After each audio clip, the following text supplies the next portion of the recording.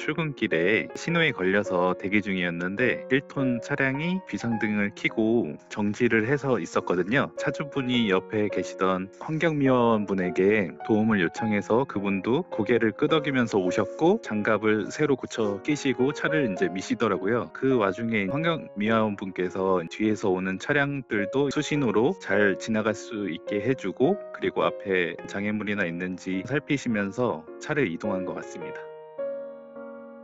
차가 무거워서 안 밀릴 때 내릴까 말까 고민을 했는데 그때 출근길이어서 거기 차가 많이 밀리는 상황이었고 제가 차를 멈춰놓고 내리게 되면은 또 뒤에서 차가 많이 밀리기 때문에 고민을 하던 중이었는데 다행히도 환경미화원 분이 반동을 이용해서 미시니까 잘 밀리는 모습을 보고서 안 내리게 되었습니다.